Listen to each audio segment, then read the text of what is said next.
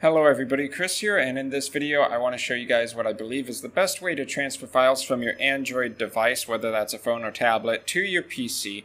And this is through a app called AirDroid. So the idea is that you download AirDroid to your phone or tablet, and then on your PC you go to web.airdroid.com in your web browser, and on your Android device, you would scan in this QR code. Alternatively, you can sign in with Google and that kind of thing. Uh, but I find that scanning the QR code is the fastest way to do this. So on my Android device, I'm going to go into the AirDroid app, click the scan QR code button, and then we just go ahead, line up the camera um, on the QR code, confirm the sign in. And in the web browser, it's going to go ahead and authenticate. It's going to effectively kind of sign into the phone, and we'll be able to see details about the phone in the top right. If we want to manually go through the entire directory structure of the phone and manually find a file, we can click Files right there, um, just like using the Windows File Explorer, except for the Android device.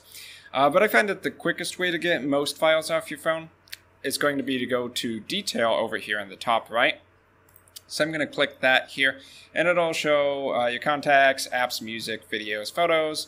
Um, in most cases, I, I, imagine this is what you want to get, so you don't really need to use the Files app over here. So I'm going to go to Music, and uh, here you could download some of the files that you have on your phone, whether that's an audio recording or an actual sound uh, soundtrack. And you just select the files you want, um, using the checkbox. You can also select all at once if you want.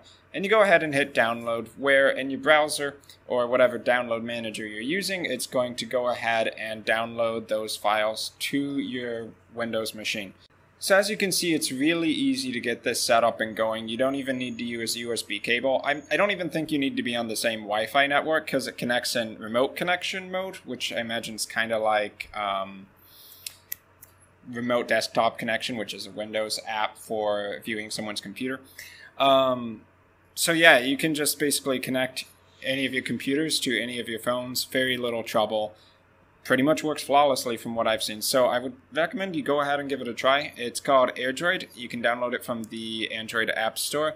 And then in your PC, once again, you just need to go to web.airdroid.com and log in, use the QR code, and you should be able to get those two devices synced up nicely. So I've been Chris. Thanks for taking a look at this video, and I will see you guys in my future video content.